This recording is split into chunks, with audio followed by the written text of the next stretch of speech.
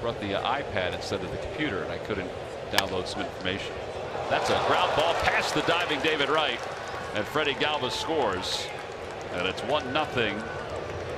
Phillies on top. Darnell Sweeney, the RBI single.